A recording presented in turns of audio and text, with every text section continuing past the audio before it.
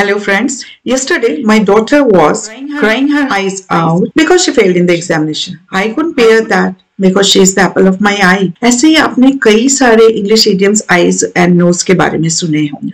Well, this video is about 15 English idioms with eyes and nose.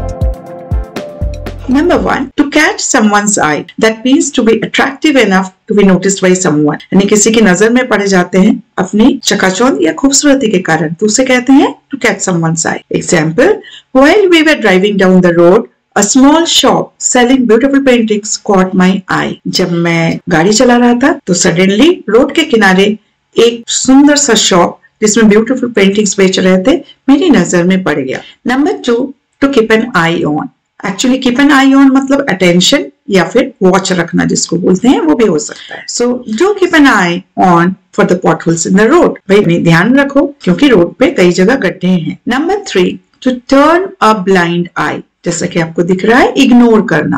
That means to ignore something which you know is wrong हमें पता है कि ये गलत है। इसके बावजूद हम उसे इग्नोर कर रहे हैं।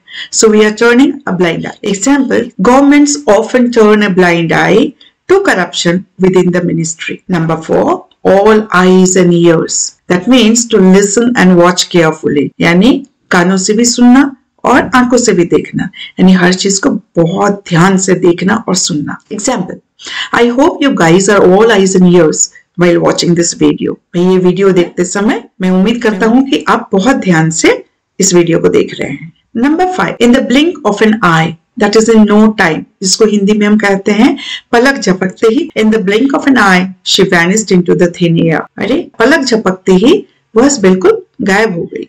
Number six to cry your eyes out means cry hard for a long time बुरी तरीके से रोना जिसको हम कहते हैं। She cried her eyes out when she heard of her failure in final exams उसने रो रो के अपना बुरा हाल बना लिया था, जब उसने सुना कि वो फाइनल एग्ज़ाम्स में फेल कर गई है number seven to be apple of someone's eye जिसे हम किसी के आँखों का तारा होना बोलते हैं हिंदी में। To be loved and treasured by someone my youngest daughter Sara is the apple of my eye मेरी बेटी सारा मेरी आँखों की तारा है। To raise eyebrows When something raises eyebrows, it slightly shocks people or catches their attention. यानी कोई अगर भौवें ऊपर चढ़ाता है तो लोगों का ध्यान उसकी तरफ़ जाता है कि इसकी भूमि क्यों चढ़ी हुई है। दैट मीन्स ही इज़ इधर क्रिटिसाइजिंग और he disapproves of something when Chanda Kochhar become the CEO of a leading bank of India many eyebrows were raised जब चंदा कोचर एक लीडिंग बैंक की सीईओ बने, काफ़ी सारे आईब्रोज चढ़े हुए थे, क्योंकि वो एक महिला सीईओ थे।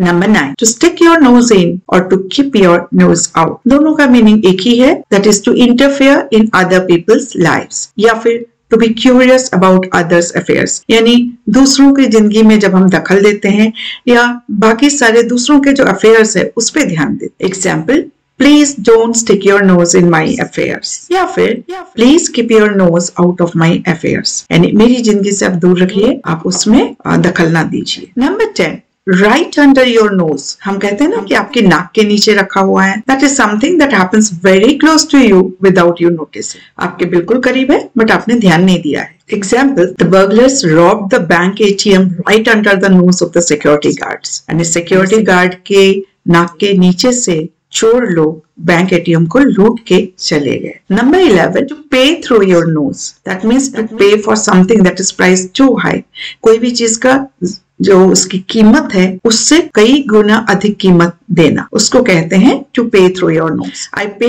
through the nose to get my laptop fixed यानी मेरे लैपटॉप को ठीक करने के लिए I have to pay a very high price number twelve to follow your nose that means to follow the straight line यानी कहते हैं ना हिंदी में, आप अपने नाक की सीट पे चले जाइए। Example there is a primary health centre up ahead above my mind so just follow your nose आप नाक की सीट में चले जाइए, वहाँ पे आपको एक प्राइमरी हेल्थ सेंटर मिलेगा। Number thirteen to be nosy to want to know about other people's private life so to be nosy मतलब क्या हुआ? दूसरों की ज़िंदगी में जानने के लिए हमेशा क्यूरियस रहना। Example the actor needs a vacation from his busy life and break from nosy journalist जो एक्टर है उसे वेकेशन चाहिए फ्रॉम हिज बिज़ी लाइफ और ये नोजी जर्नलिस्ट जो हमेशा आपके पीछे पड़े रहते हैं उससे वह दूर रहना चाहता है। Number fourteen to turn up your nose at That means to reject something by showing signs of scorn contempt, और डिस्कस्ड यानी कोई भी चीज़ को रिजेक्ट करना कॉर्न करके या कंटेम्प शो कर for example I offer the dog some food but it turn its nose up and walk away